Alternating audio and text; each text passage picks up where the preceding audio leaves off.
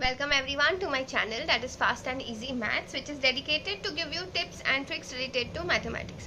So students this is an Olympiad question where we have to find the value of A and C and the two equations given are nothing but A plus BC is equals to 2021 and AB plus A, C is equals to 2020 okay.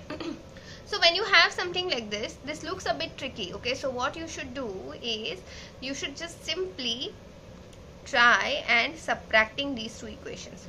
Why am i saying subtracting? Because when you subtract these two here it becomes 1 which becomes very very easy for us to solve further okay?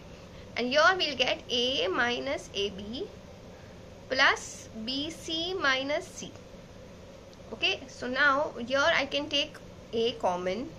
So i have 1 minus b plus let's say if i take c common so i have b minus 1 is equals to 1 okay so now understand here I have 1 minus b and here I have b minus 1 so if I want to make this similar to this bracket or same as this bracket all I will have to do is see I can write b minus 1 is equals to minus taken outside b sorry 1 minus b correct?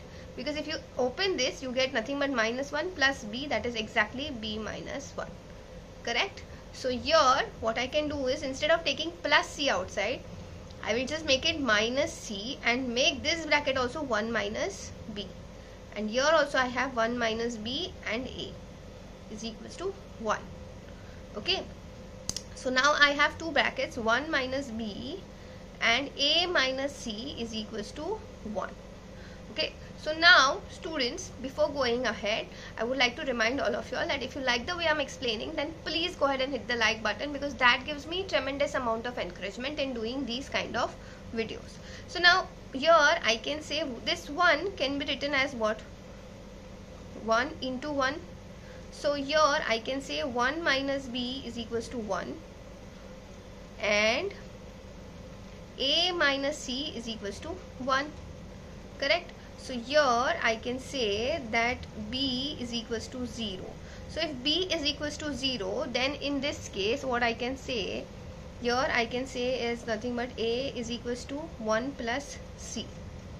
Okay? So if b is equals to 0 then I can say a is equals to 2 0 2 0 2 0 2 1 and c here if b is equals to 0 then I can say that C is equals to 2020 correct? Now students most of the students got this answer right? But there is one more scenario where you can just get a 1 that is nothing but minus 1 into minus 1 and in that scenario I can say that 1 minus b is equals to minus 1 and a minus c is equals to minus 1 correct so here what we can do is B is equals to 2 and C is equals to 1 plus A. Okay. Then if I put B is equals to 2 over here then what do I get? Or uh, let's put all of these values over here. Okay in first equation. So A plus instead of B that is 2 and instead of C I'll put 1 plus A is equals to 2021.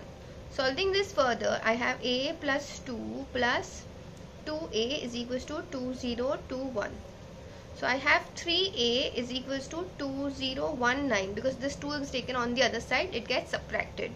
So now I have a value as nothing but 6, 7, 3 and if 673 is my a value then c value over here will be 670 4 okay?